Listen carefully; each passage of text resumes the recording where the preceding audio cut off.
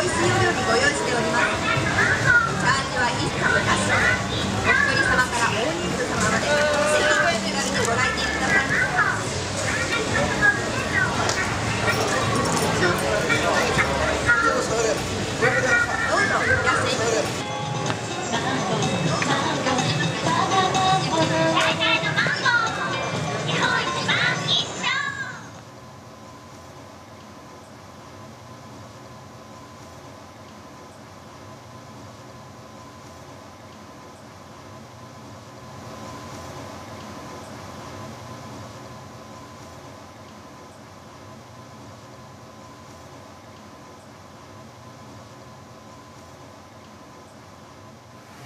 やっぱりその機能って限界ありますしこう完全に個室じゃなくてこの上とかでこうつながっていたり人の声が聞いて聞こえてきたりいびきとかいろんなあの騒音とかあるんですよ。いろんなことが煩しくなってきたりあの住民とのあのなんなんていうか住民のあのそこがあまり良くなかったなかったのでもうなんか別のところでこうふわふわしてた方がいいかなってありましたね。で定住してるのがあんまり好きじゃないので、うん、なんていうかどっかに依存するとかそういうのが嫌いでこうこうあっち行ったりこっち行ったりでこう結構自由奔放に動いているので。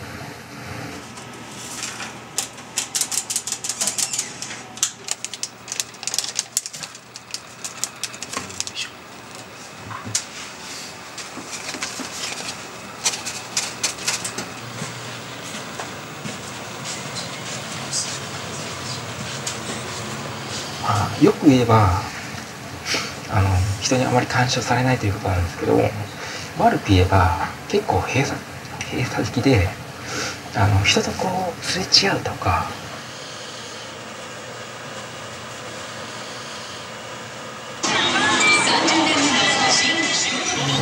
あの犬型犬か田舎みたいにあの開放的なところもあれば都会みたいにまあ今は東京なんですけども完全にあの他人とあの干渉しないとかあのあの個人個人があのあのか関与しなくて。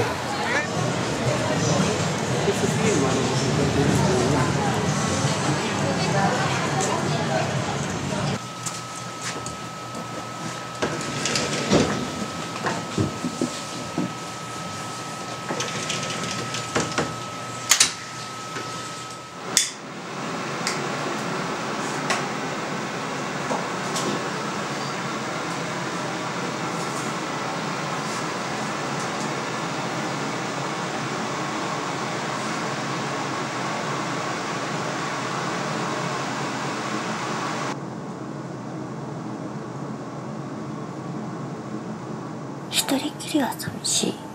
けど一人でいたいってそういうこう微妙な相反する思いをこううまくこう解消できるような場所かな。個室っていう面で一人ではあるけどまあ上はつながってるから人の気配とか音とかはするから完全に世界に一人ではないっていうこの外の世界とのつなぎ止める役割をしてくれるのもあるから一人でいたいけど一人完全に一人は寂しい。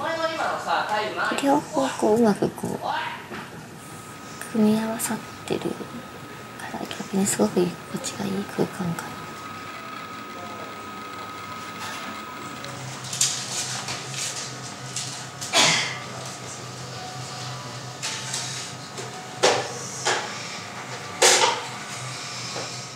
上の子が気に知らないと思うし基本うち本人主義だから。うん。下に手かかるから上のことなんかももはや16超えたら大人って認識をされるから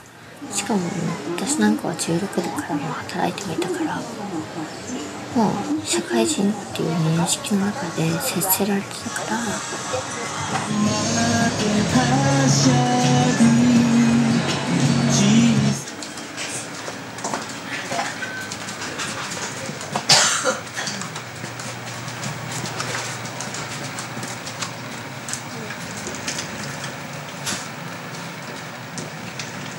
ふうに言わすぎてそんな長く生きられないって言われてたから目標は二十歳にで生きることだったしもうそれ超えちゃったから何していいんだろうみたいな。やりたいことってなんだろうみたいな。目的はもう全部無視になっちゃってるからまあそれ見つけるのにもちょっとフラフラしてみようかなっていう。フラフラしちゅう。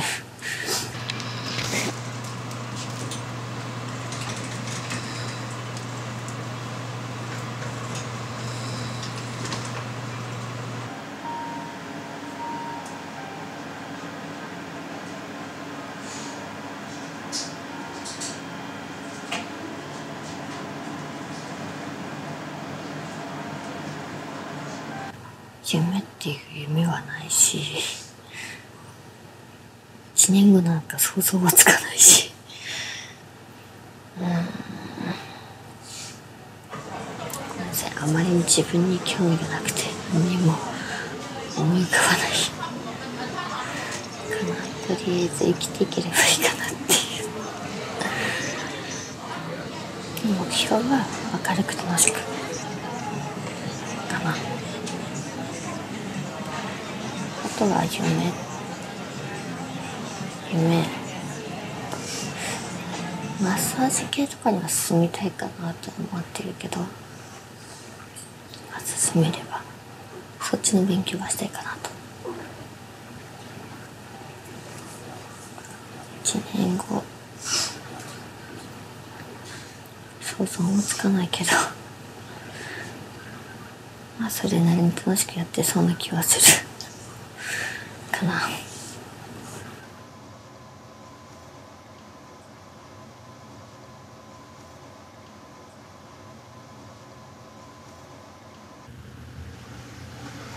なんていうかね煩わしさから解放されたいとは言っても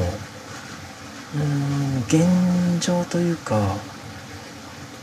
結局人とこう交流しないと人間ってやっぱり成長できないとは思うんですね。そうしてくるとやはり今の社会に全うしていいのかっていう自分の疑問の中で生まれた中で今生まれた結論としてはマンボウとかこういう満喫っていうのは確かに一時的な利便性は素晴らしいと思うんですけどずっとこういうところに依存していてはやっぱりダメだと思うんですよ。それは結局今までの生活とが嫌であのこういうところに至ったっていうのも結局こういうところもまたこういう便利なところも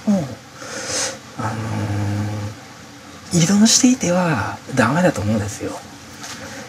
そういう意味でもうすぐにあのこういうところを脱却してあの新しい世界に順応していくあの忍耐力や力強さを持っていきたいなって思いますね。